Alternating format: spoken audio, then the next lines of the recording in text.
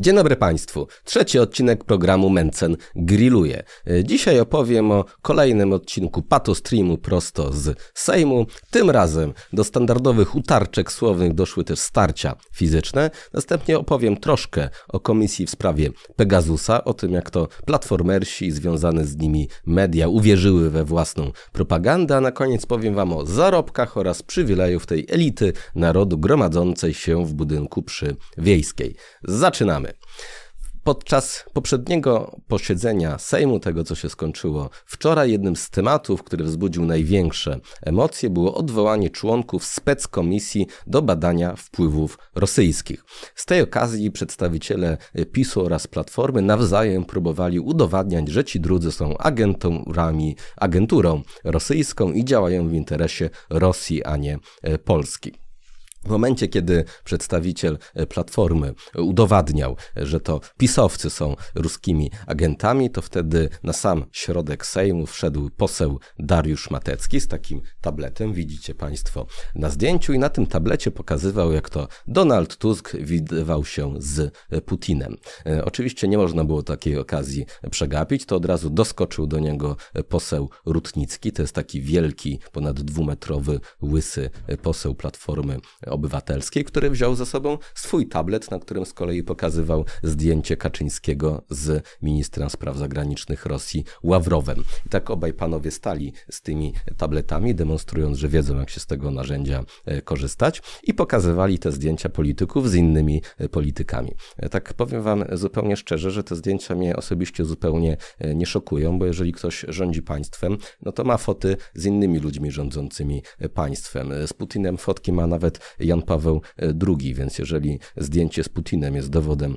tego, że Tusk lub Kaczyński są ruskimi agentami, to być może Jan Paweł II też jest ruskim agentem, ale o to już trzeba spytać Dariusza Mateckiego. Ale to dopiero był początek, bo potem zrobiły się głosowania w sprawie odwołania członków tej komisji i wtedy się dopiero zaczął cyrk. To, jak oni na siebie nawzajem krzyczeli, to przebili jeszcze wcześniejsze tego rodzaju obrazki, które widziałem tydzień czy też dwa tygodnie temu. Na przykład, kiedy pisowcy głosowali za tym, żeby nie odwoływać członka tej komisji, e, to darli japy, teraz głosują Polacy, po czym podnosili ręce. A jak platformersi głosowali, żeby ich odwołać, to pisowcy krzyczeli, teraz głosuje Rosja. E, a jak raz się pomylili, to krzyknęli, teraz głosuje Rosja, po czym pisowcy podnieśli rękę, co spowodowało olbrzymią salwę śmiechu po drugiej e, stronie. W pewnym momencie zdałem sobie też sprawę, i dawno temu zdałem sobie sprawę, ale wy teraz powinniście sobie zdać sprawę, że to cała narracja narracja, jak to Platforma Obywatelska i te partie jeszcze opozycyjne, co niedługo będą rządzić, te postępowe, europejskie, jak to one szanują kobiety, to jest jedna wielka ściema. W pewnym momencie właśnie te starsze panie z PiSu tak trochę się zbulwersowały, kiedy były właśnie te wzajemne okrzyki, kto tutaj jest rosyjskim agentem i tak rzeczywiście zaczęły dosyć emocjonalnie krzyczeć. To wiecie, jak platformersi zareagowali, tak na nie popatrzyli i zaczęli krzyczeć ko, ko, ko, ko, ko, ko, ko, ko, ko, ko, ko, ko, ko.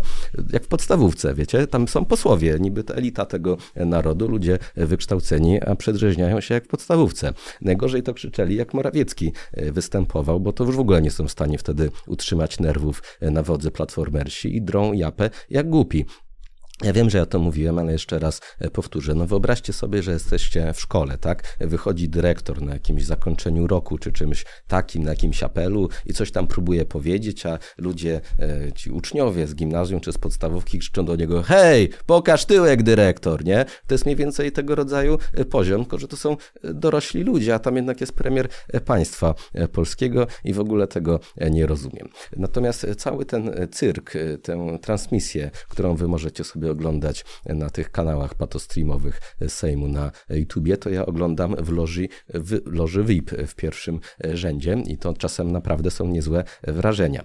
Po tym jak już Matecki wyskoczył z tym tabletem, to chciał go przebić poseł Jacek Ozdoba z Solidarnej Polski i chciał wręczyć Donaldowi Tuskowi to zdjęcie, co Matecki miał na tablecie, to on je wydrukował. Chciał pokazać Tuskowi, żeby mu przypomnieć, że się widział z Putinem i kiedy już szedł do Tuska Ozdoba z tym wydrukowanym zdjęciem, to rzucił się się na niego ten wielki, dwumetrowy poseł Rutnicki z Platformy Obywatelskiej, wyrwał mu tą kartkę, wziął i podarł.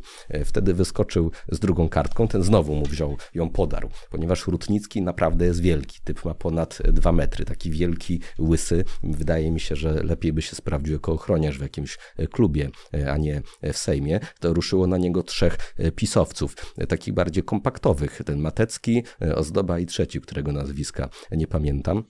Też na YouTubie były fragmenty z tego e, nagrania. E, tu macie zdjęcie właśnie z pierwszego rzędu z mojej loży VIP, z którego mogę obserwować, jak się posłowie prawie że biją. E, I trochę mnie to jednak, wiecie, dziwi. No bo to jednak izba parlamentarna, to jest Sejm, tam są posłowie, tam są decydowane niby jakieś ważne sprawy. Oni się zachowują jak dzieci w przedszkolu i wydaje mi się, że nawet to im się podoba. Podczas tego posiedzenia miałem też możliwość po raz pierwszy zabrać głos. Mówiłem w debacie na temat powołania komisji śledczej w sprawie Pegasusa. Link do mojego wystąpienia możecie zobaczyć w opisie do tego nagrania. W trakcie wystąpienia podkreślałem, jak skandaliczne jest to, że pisowcy podsłuchiwali polityków opozycji, zresztą pewnie nie tylko polityków opozycji, jak źle o nich myślę, jak wielkim skandalem jest to, że to się w ogóle wydarzyło. Wiecie, co się stało? E, mnóstwo dziennikarzy, takich raczej mi do tej pory nieprzychylnych, nawet takich jak Tomasz Lis, nawet Roman Giertych e, pochwalił, więc różni dziennikarze zaczęli się dobrze wypowiadać, jak Mencen dobrze e, powiedział, jak pojechał tym pisowcom. Takie zaskoczenie widać było, że ja krytykuję PiS. Nawet tacy dziennikarze jak Nizinkiewicz z Rzeczpospolitej napisał taki artykuł, tu macie fragment, że zaskakujące jest to, że ja atakuję PiS, no bo przecież nigdy nie odżegnywałem się od współpracy z PiSem. I widzicie, to jest takie, taka tragedia czyjaś ludzka, gdy ktoś uwierzy w swoją własną propagandę. Bo ja rozumiem, po co się robi propagandę, po to, żeby tam kogoś okłamać, zmanipulować, żeby ludzie myśleli, że rzeczywistość wygląda inaczej niż ona wygląda, ale jak się samemu wierzy w propagandę, którą się robi, to niestety nic mądrego z tego nigdy nie wyniknie. Od 2016 roku, od kiedy jakkolwiek zacząłem się udzielać publicznie, bez przerwy atakowałem PiS. Cały ten czas rządziło Prawo i Sprawiedliwość. W zasadzie cały czas na Twitterze, YouTubie, Facebooku, wszędzie, gdzie tylko mogłem, atakowałem Prawo i Sprawiedliwość. I przypominajka dla dziennikarzy, bo dalej nie zrozumieliście i ciągle się nas pytacie.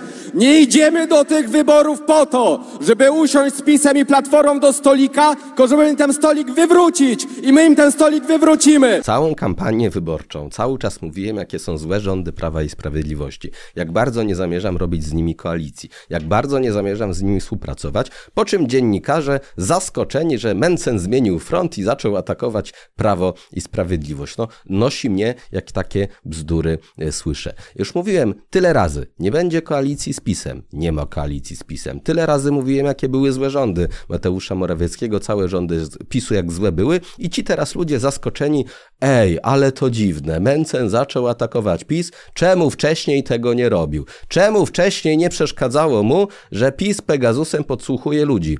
Kurde, te moje wystąpienie to całymi fragmentami były moje wcześniejsze wypowiedzi w tej sprawie, moje wcześniejsze wpisy na Facebooka w tej sprawie. Po raz kolejny powtórzyłem to, co mówiłem już wielokrotnie, a ci teraz, szkoda, że dopiero teraz sobie przypomniał, do, dlaczego dopiero teraz zaczął atakować Prawo i Sprawiedliwość. Cały czas atakowałem Prawo i Sprawiedliwość i nic kompletnie się w tej sprawie nie zmieniło. Dochodzimy do trzeciego tematu tego odcinka, czyli ile zarabiają posłowie i jakie mają przywileje. Często pytaliście o to w komentarzach, więc pomyślałem, że zrobię taki research i przedstawię Wam, ile tak naprawdę płacicie tej elicie narodu za to, żeby występowali w tym cyrku i raczyli Was tymi cotygodniowymi pato streamami. Więc pierwsza część zarobków posła to jest oczywiście ich wynagrodzenie. Obecnie jest to 12 800 800 zł. Brutto, czyli 9 tysięcy z małym hakiem netto. Tyle zarabia każdy poseł, który, uwaga, zarabia, bo nie każdy poseł zarabia. Można być posłem zawodowym i wtedy mieć to wynagrodzenie z Sejmu, albo można nie pobierać wynagrodzenia z Sejmu, jeżeli na przykład prowadzi się działalność gospodarczą albo ma się jakąś inną pracę, z której się nie chce rezygnować, wtedy jest się posłem niezawodowym, który wynagrodzenia nie otrzymuje. I to jest na przykład mój e, przypadek. Cały czas jeszcze prowadzę firmę, w związku z czym nie jestem posłem zawodowym i ten cały czas e, siedzę w Sejmie kompletnie za darmo. Nikt mi nawet za to nie płaci, że muszę to towarzystwo z oglądać. Do tego dochodzi dieta. Obecnie dieta wynosi 4000 zł i z tego poseł w ogóle się nie musi rozliczać. Po prostu każdy poseł dostaje raz na miesiąc przelew na 4000 zł i wydaje na to kompletnie na co chce. Może sobie za to jakieś jedzenie kupić, cokolwiek bez znaczenia, może nic sobie za to nie kupić, może to wydać, nie wydać. Kompletnie nikt tego nie sprawdza. W praktyce jest to dodatkowe 4000 zł do wynagrodzenia. Co oznacza, że taki poseł, dieta plus wynagrodzenie netto, dostaje dostaje 13 tysięcy złotych na łapę miesiąc w miesiąc. Czy jest jakieś posiedzenie sejmowe, czy nie ma, na przykład sierpień, zawsze to są wakacje, Sejm się w ogóle nie zbiera i tak każdy poseł dostaje 13 tysięcy złotych za nic nie robienie. Ale to dopiero początek, to jest dopiero podstawa tego wynagrodzenia, bo posłowie siedzą jeszcze w komisjach e, poselskich. I siedzą w takich komisjach, tam to już zupełnie się nic nie robi i komisja ma przewodniczącego.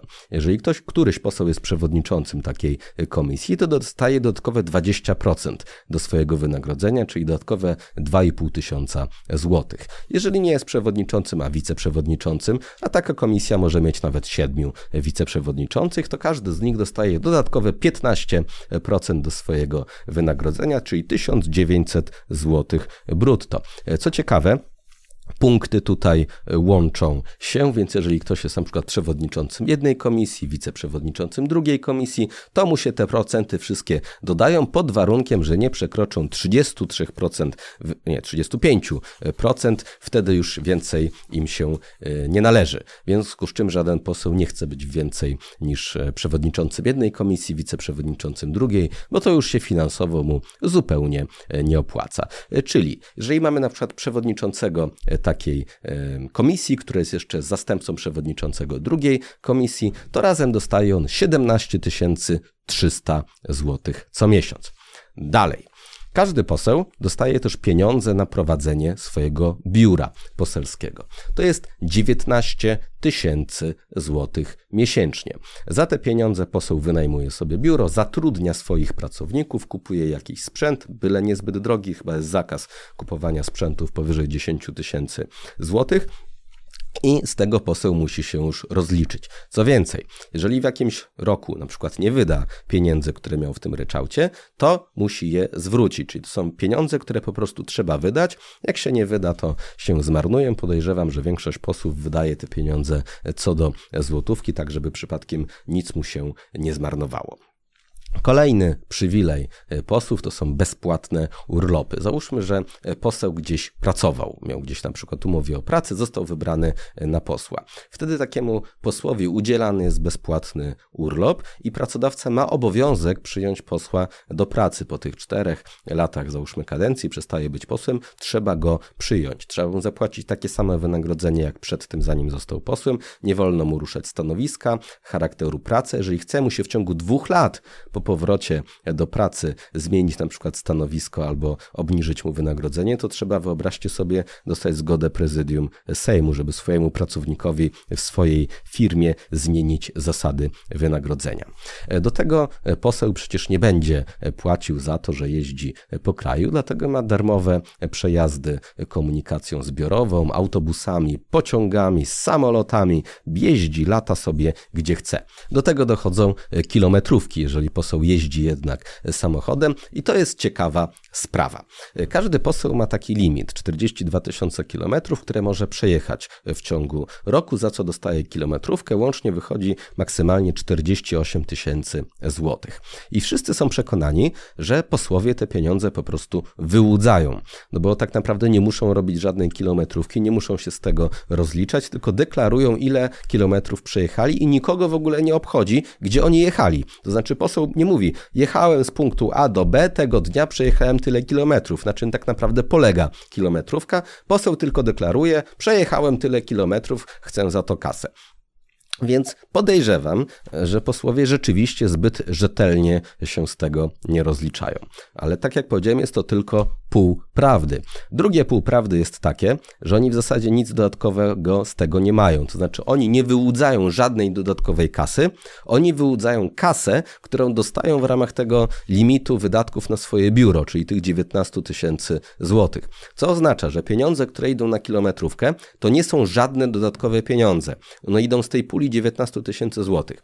To zapyta ktoś, to skoro to nie jest dodatkowa kasa, to na cholerę posłowie ją wyłudzają. W sensie, czemu fałszują te dokumenty, czemu podają liczbę kilometrów, której nie przejechali, skoro nie należą im się z tego dodatkowe pieniądze, nie? Ktoś mógłby tak pomyśleć, więc już oczywiście odpowiadam. Chodzi o to, że z pieniędzy, które idzie na biuro poselskie, to się trzeba rozliczyć. Trzeba mieć kwit na każdy wydatek. Zatrudniamy kogoś na przykład na umowie o pracę, no to trzeba ZUS od tego zapłacić, podatek dochodowy, ta kasa idzie do tego kogoś. Poseł oficjalnie nic z tego nie ma. Ale te pieniądze zamiast na pracownika może przeznaczyć na kilometrówkę i z tego nie musi się rozliczać, w sensie po prostu je sobie przelewa na konto. Co oznacza, że posłowie traktują kilometrówkę jako swój udział, jako swoje wynagrodzenie w ramach tych 19 tysięcy na biuro. Czyli jak im wychodzi jakieś 4 tysiące miesięcznie kilometrówki, to przelewają sobie to na konto prywatne tytułem kilometrówki i mają do tych kilkunastu tysięcy złotych, o której wcześniej powiedziałem, dodatkowe 4 tysiące, z których znowu nie muszą się rozliczać. I o to chodzi w tej całej całej kilometrówce, żeby mieć z swojego biura poselskiego dodatkowe 4000 zł na swoje własne prywatne wydatki.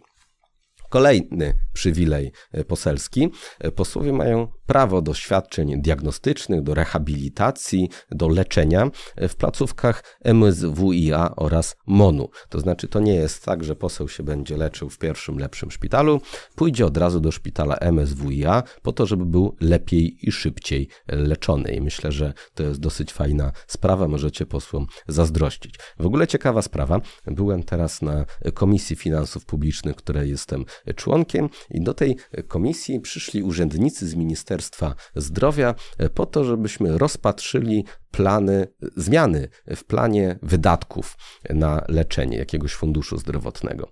No i tam powiedzieli, że chcą dodatkowe 40 milionów złotych na leczenie Polaków za granicą. Ktoś zapytał, no ale po co na co to pójdzie, po co te 40 milionów złotych na leczenie Polaków za granicą. No i urzędnicy powiedzieli, no, że chodzi o jednego człowieka, który miał być leczony w Stanach kardiologicznie. Miało to kosztować 4 miliony złotych, ale coś poszło nie tak, czy coś się źle wyceniło i będzie to kosztowało 5 milionów, ale dolarów zamiast 4 miliony złotych, w związku z czym przez Komisję Finansów Publicznych musi przejść zmiana całego planu finansowania Funduszu Zdrowotnego. I to jest nie, żebym wnikał, bo i tak się nie dowiem, bo tajemnica zdrowotna, ale bardzo chciałbym wiedzieć, który to Polak ma to leczenie z NFZ-u za 5 milionów dolarów w Stanach Zjednoczonych i przede wszystkim jak to sobie załatwił. Idźmy dalej.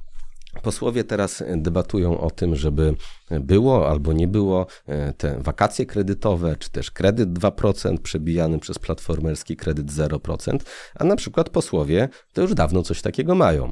Mają możliwości brania pożyczek z Sejmu. Jeżeli te pożyczki są na czas krótszy niż 12 miesięcy, to płacą całe 1% odsetek, a jeżeli pożyczka jest na więcej niż 12 miesięcy, to tych odsetek jest całe 2%. Więc taki poseł może na przykład sobie kupić mieszkanie albo zrobić remont mieszkania, wziąć kredyt, płacić do tego 2% odsetek, a resztę oczywiście my finansujemy. Dalej, posłowie mają też prawo do bezzwrotnej samozapomogi, jeżeli znajdują się w ciężkiej sytuacji materialnej i, uwaga, nie mogą zaspokoić podstawowych potrzeb życiowych. Mówimy o ludziach zarabiających kilkanaście tysięcy złotych miesięcznie i to legalnie, bo jak doliczymy im te dochody z kilometrówek lub różne inne rzeczy, to pewnie i z 20 tysięcy by się zebrało. Więc ludzie zarabiający kilkanaście tysięcy złotych mogą złożyć wniosek o zapomogę, jeżeli nie mogą zaspokoić swoich podstawowych potrzeb życiowych. Ja przyznaję, że nie wiem, jak trzeba żyć, żeby za 20 tysięcy miesięcznie dalej nie być w stanie zaspokoić swoich podstawowych potrzeb życiowych. Natomiast w poprzedniej kadencji znalazły się 32 takie przypadki, 32 posłów wystąpiło o taką zapomogę, co jest interesujące. Dalej, posłowie mają prawo do darmowej poczty, to znaczy dostają już takie koperty ze znaczkiem i jak chcą wysyłać listy, to też za to nie muszą płacić. To jeszcze nie wszystko. Poseł ma już za darmo dojazd do Warszawy, no to przecież jeszcze musi mieć darmowe mieszkanie w tej Warszawie, dlatego każdy poseł może albo za darmo mieszkać w domu poselskim, albo dostać ryczałt 3,5 tysiąca złotych, za które może sobie wynająć jakieś mieszkanie na, ter na terenie Warszawy i wtedy też za to dodatkowo nie musi płacić. A jak taki poseł przestaje już być posłem, bo na przykład nie poszło mu w kolejnych wyborach, nie dostał się do Sejmu lub stwierdził, że ma już tego dosyć i chciałby zająć się czymś pożytecznym, to dostaje odprawę w wysokości trzech wynagrodzeń, czyli obecnie 38 400 zł. Jeszcze więcej zarabia marszałek Sejmu, bo on ma dodatek za to, że jest marszałkiem i dostaje miesięcznie 20 tysięcy złotych, plus oczywiście dieta, bo też jest posłem cały czas. Wicemarszałkowie dostają po 18 tysięcy złotych, do tego oczywiście marszałek ma e, limuzynę, ochronę, dodatkową opiekę zdrowotną i coś tam jeszcze. I my za to wszystko płacimy, żeby ta wysoko opłacana elita narodu e, potem e, grała w tych patostreamach, które sobie oglądacie. Ale z przywilejów jest jeszcze jeden, który ostatnio przyuważyłem. Mamy w domu poselskim, w tym hotelu poselskim restaurację, mamy kawiarnię, ale jest też bar.